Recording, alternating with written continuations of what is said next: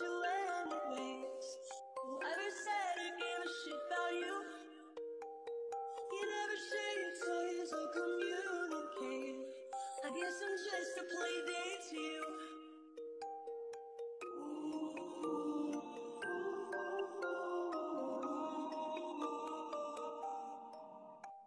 You know I give a fuck about you